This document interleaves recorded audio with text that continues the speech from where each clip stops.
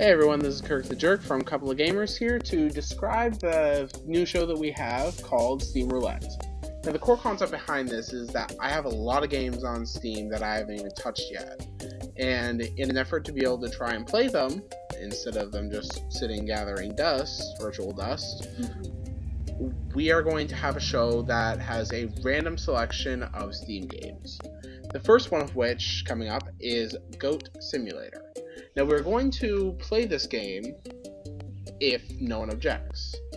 That said, you can object in the comments below in one of two ways.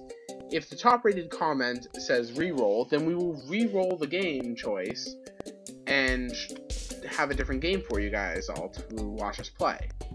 We will begin playing each game on the following Monday, so if no one objects by the following Monday, then we'll just play the game that we have queued up.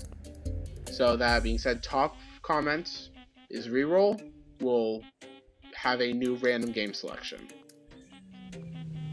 If people still don't like that game, then before Wednesday, if there's a, and we will announce the reroll on Monday.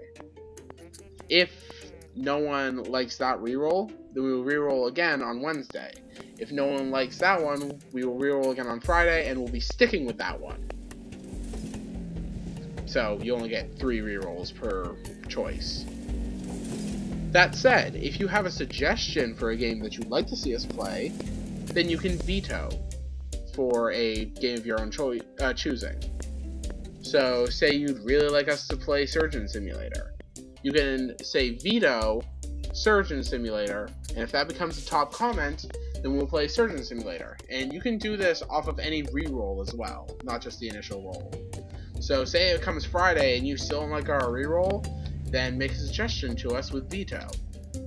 If you guys suggest a game that we don't have, we will let you know that in the comments. We will reply to your comment and say that we do not own that game. If no one sends us it, then we will go ahead and play the game that we are going to play. Be it Goat Simulator if that was the roll or whatever it may be. But if someone sends us the game, then yeah, we'll be more than glad to play it. I mean, free game, why wouldn't we? So, if you are okay with us playing this game, Goat Simulator, coming this following Monday, then let us know by oh instead of saying reroll or veto, say fair roll or something like that if that becomes a top comment, then or anything besides reroll or veto. So quite literally anything but reroll or veto being top comment will have us just play Goat Simulator.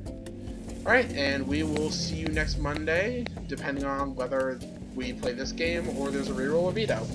Until then, I'm Kirk the Jerk here with Crafty Ashley for a couple of gamers, and we will see you then.